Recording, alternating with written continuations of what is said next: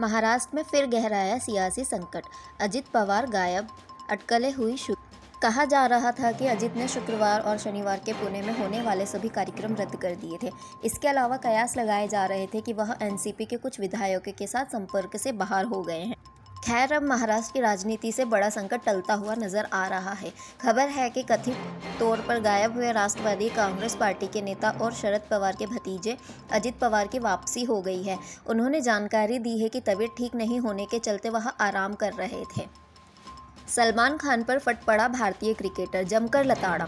कहा, हमारे कल्चर का हुआ अपमान। दरअसल बॉलीवुड सुपरस्टार सलमान खान अपनी आने वाली फ़िल्म किसी का भाई किसी की जान के नए गाने यंतामा को लेकर विवादों में आ गए हैं। भारत के पूर्व क्रिकेटर लक्ष्मण शिव रामाकृष्णन ने सोशल मीडिया पर अपनी नाराज़गी ज़ाहिर करते हुए कहा कि उन्होंने साउथ इंडियन कल्चर का अपमान किया है। महँगाई से बड़ी राहत, दिल्ली में सीएनजी और पाइप रसोई गैस की कीमतों में छः रुपये तक की कमी। सरकार ने दिल्ली वासियों को बड़ी राहत दी है। दिल्ली में सीएनजी और पाइप से घर तक पहुंचाई जाने वाली रसोई गैस की कीमतों में छः रुपये तक की कटौती की गई है। दो साल में पहली ऐसी राहत दी गई।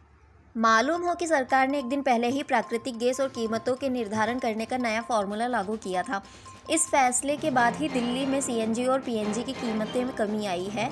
अब राष्ट्रीय राजधानी क्षेत्रों में सीएनजी की कीमत 79.56 रुपए प्रति किलोग्राम से कम होकर तिहत्तर पॉइंट फाइव नाइन रुपये प्रति किलोग्राम हो गई है। आईफोन यूज़र्स के लिए बड़ी खुशखबरी रोल आउट हुआ iOS sixteen point point one update अब नहीं आएगी ये प्रॉब्लम्स एप्पल यूज़र्स के लिए बड़ी खबर है कंपनी समय समय पर अपने यूज़र्स के लिए नए नए अपडेट जारी करती रहती है। इसी क्रम में कंपनी ने अपने आईफोन यूज़र्स के लिए iOS sixteen point four point one roll out कर दिया है। इसके अलावा एप्पल ने आईपैड यूज़र्स के लिए भी iPad O S sixteen update जारी कर दिया है। इस अपडेट को आप सेटिंग में जाकर डाउनलोड कर सकते हैं। एप्पल के नए अपडेट रोल आउट होने के बाद यूज़र्स की आई ओ एस सर्फेस एक्सीटर से जुड़ी परेशानियाँ दूर हो जाएँगी। इसके अलावा नया अपडेट वॉइस असिस्टेंट सीरी के कुछ मामलों में जवाब न देने की समस्या को भी हल करता है। इस अपडेट का फ़ायदा आईफोन 8 और इसके बाद वाले मॉडल्स के यूज़र्स उठा सकते हैं। फ्लिपकार्ट पर bumper sale ninety two daily खर्च पर मिल रहा आईफोन 14 जानिए। इस वीडियो में आगे विस्तार से। फ्लिपकार्ट पर चल रही मोबाइल बांसा सेल 10 अप्रैल तक चलेगी, जिसमें आप exchange offer, no cost, EMI और फ्लिपकार्ट पे लेटर का फ़ायदा उठा सकते हैं। वहीं आईफोन 14 पर भी आकर्षक ऑफ़र मिल रहे हैं। इस स्मार्टफ़ोन को आप बानवे रुपये डेली के खर्च पर खरीद सकते हैं। स्मार्टफ़ोन सत्तर हज़ार नौ सौ निन्यानवे रुपये की शुरुआती कीमत पर मिल रहा है, लेकिन आप इसे छाछठ हज़ार नौ सौ निन्यानवे रुपये में खरीद सकते हैं।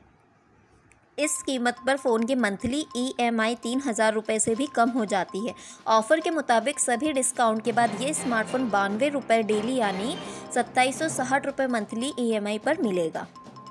अनिल एंटनी के बाद शशि थरूर भी कर सकते हैं बीजेपी ज्वाइन। 2024 से पहले बीजेपी की दक्षिणी सियासी रणनीति से कांग्रेस में मचेगी खलबली। अस्तित्व को बचाने के लिए बसपा सुप्रीमो मायावती बड़े मुस्लिम नेता आज़म खान को अपनी तरफ़ खींचने की कोशिश कर सकती हैं। खेत में दोस्त करते रहे गैंगरेप बाहर पति देता रहा पहरेदारी। पत्नी की शिकायत पर 11 लोगों पर एफआईआर दर्ज। मुरादाबाद में पत्नी ने पति पर दोस्तों से गैंगरेप करवाने का आरोप लगाया है।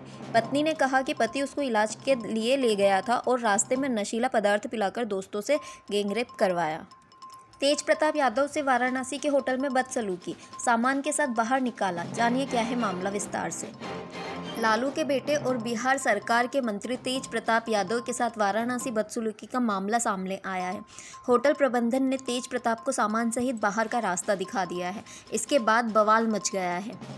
इस संबंध में डीसीपी काशी बनारस ने बताया कि होटल प्रबंधन के मुताबिक दोनों कमरे ऑनलाइन किसी अन्य ने बुक किए थे।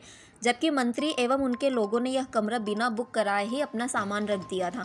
इसी कारण उनका सामान निकलवाया गया है। बिना बुकिंग के ही मंत्री एवं अन्य के सामान कैसे होटल में रखे गए, इस संबंध में छानबीन कराई जा रही है। महबूबा मुफ्ती की बेटी को मिला सिर्फ़ एक ही देश का पासपोर्ट, जराई जताई नाराज़गी। जम्मू कश्मीर के पूर्व मुख्यमंत्री महबूबा मुफ्ती की बेटी इल्तिज़ा मुफ्ती ने एक देश विशेष के लिए पासपोर्ट जारी करने को लेकर भारतीय जाँच एजेंसी सीआईडी की आलोचना की है।